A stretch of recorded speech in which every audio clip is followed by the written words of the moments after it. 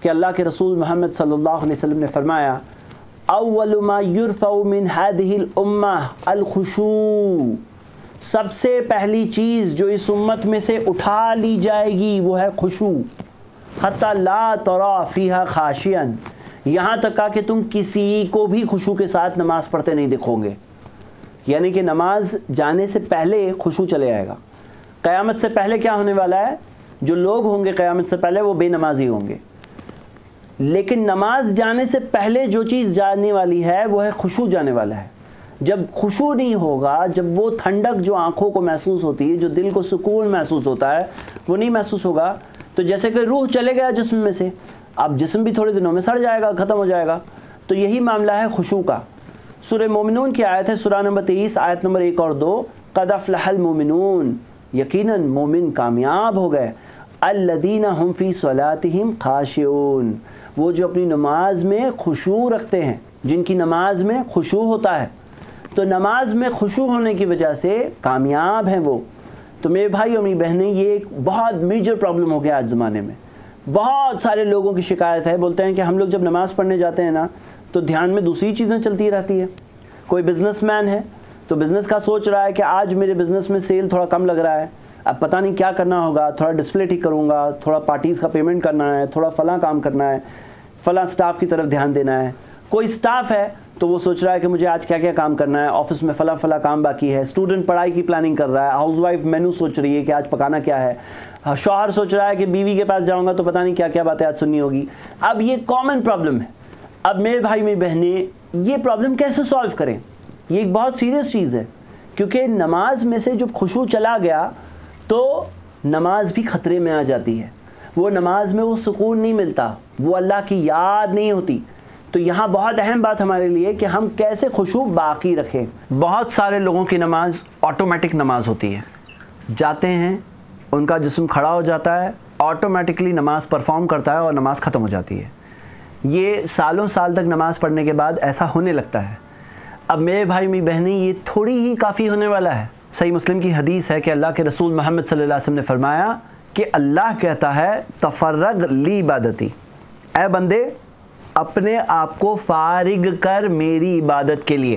اب ایک انسان نے جسمی طور پہ تو فارغ کر دیا، اپنے آپ کو فری کیا اور نماز کے لیے حاضر ہو گیا۔ لیکن ذہنی طور پہ فارغ کیا یا نہیں کیا؟ فارغ کر، کون سا فارغ کر؟ صرف جسمی فارغ نہیں، ذہنی طور پہ بھی تو فارغ کرنا ہے۔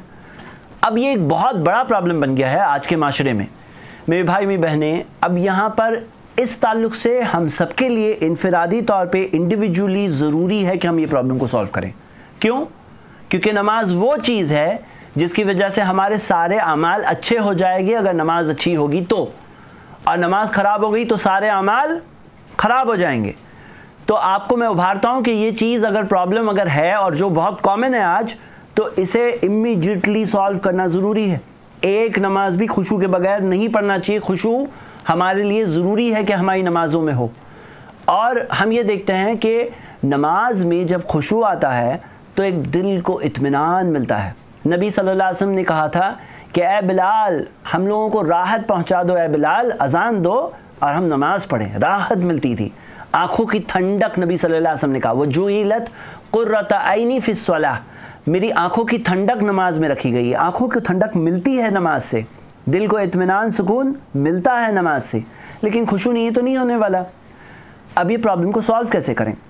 یقیناً الحمدللہ اس موضوع پر بہت سارے بینیفیشیل آپ کو کتابیں آرٹیکلز لیکچرز ملیں گے۔ میرا لیکچر بھی اس موضوع پر موجود ہے کہ نماز میں خوشو کیسے لائیں۔ آج کے لیے صرف ایک چیز بتاتا ہوں، ایک سلیوشن اور یہ بہت افیکٹو سلیوشن ہے۔ نماز کے اندر خوشو کو کیسے ہم لائیں اور وہ لانے کے لیے ایک اچھا سلیوشن جو ہم دیکھتے ہیں، یہ حدیث مسند الفردوس میں ہے۔ شیخ البانی نے اس کی تحقیق صحیح الجامع میں دی ہے کہ اس کی سند حسن ہے۔ اللہ کے رسول صلی اللہ علیہ وسلم نے فرمایا، اذکر الموت فی صلات۔ اپنی نماز میں اپنی موت کو یاد کرو۔ کیونکہ جو شخص اپنی نماز میں اپنی موت کو یاد کرے گا وہ ایک ایسے شخص کی نماز پڑھے گا جو سوچتا ہے کہ اس کے بعد میں کوئی اور نماز نہیں پڑھنے والا۔ اگر ہم نماز میں یہ سوچ کر پڑھیں کہ میں لاسٹ نماز پڑھ رہا ہوں، جیسے ایک اور روایت میں ملتا ہے جو مسند احمد میں ہے کہ صلی صلاۃ مودین، اذا قمتا الى صلاتک، جب تم نماز کے لیے کھڑے ہو جاؤ، فصلی صلاتا مودعین تو الوداعی نماز پڑھو۔ الوداعی نماز یعنی ایک انسان سوچے کہ میں یہ لاسٹ نماز پڑھ رہا ہوں۔ مثال کے طور پر، ہم عصر کی نماز پڑھ رہے ہیں، مغرب کی نماز پڑھ رہے ہیں، یہ سوچ کر پڑھ رہے ہیں کہ اس کے بعد عشاء نہیں ہے۔ مغرب کے بعد سوچ رہے ہیں، عشاء نہیں ہے۔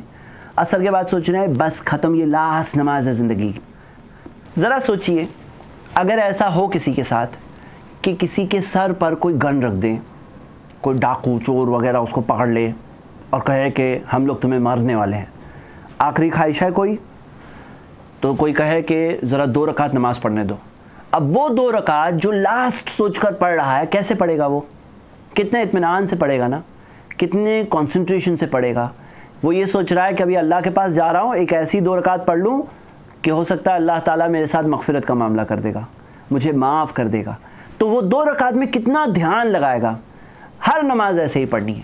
یہ سوچ کر پڑھنا ہے کہ لاسٹ پڑھ رہے ہیں۔ اب جب لاسٹ پڑھ رہے ہیں، یہ سوچ کر پڑھیں گے تو کانسنٹریشن خود بخود ہونے لگتا ہے۔